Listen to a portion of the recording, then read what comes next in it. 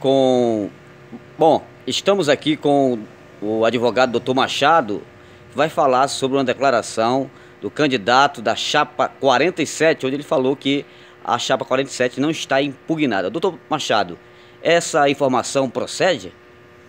Jair, a chapa 47 ela está sim impugnada. A, a chapa 46 fez a impugnação, nós defendemos essa, essa, essa impugnação lá em, em São Luís, estive presente na, na audiência e foi julgada improcedente, ou seja, julgou procedente a impugnação para indeferir a chapa.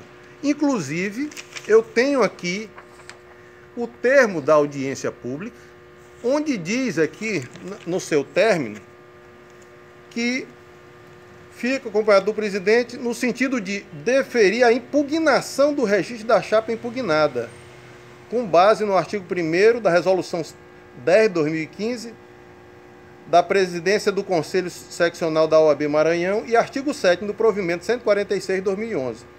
E ainda ressalta que cumpre salientar que a presidente da comissão alertou que, apesar de requerer a retirada da chapa 47 por renovação da ordem junto ao TRE, possa ser que não haja tempo hábil para a retirada do seu número das urnas Assim, todos os eventuais votos na referida chapa serão considerados nulos.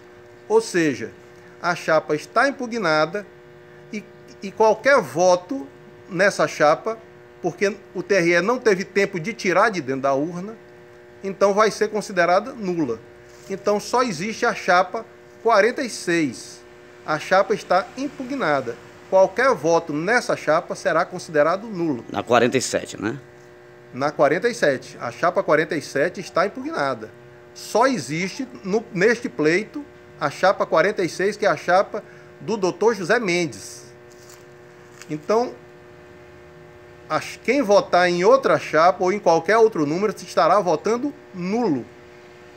Certo, doutor. Então a informação não procede. Somente a chapa 46 que está legalizada, né, para poder os advogados votar é, nessa sucessão é, com relação à subseccional AB Codói região, né? Exatamente. Então essa informação ela, ela, ela foi colocada de forma equivocada, porque ele isso deveria a informação para todos os eleitores é que é, é talvez no sentido de querer animar para dizer que a, a chapa ainda vive ou sobrevive. Mas na realidade a chapa está impugnada e qualquer voto é nulo. Então eu convido a todos para que amanhã, dia da eleição, todos estejamos juntos, reunidos nessa grande festa da democracia para votar no Dr. José Mendes na chapa 46. Muito obrigado.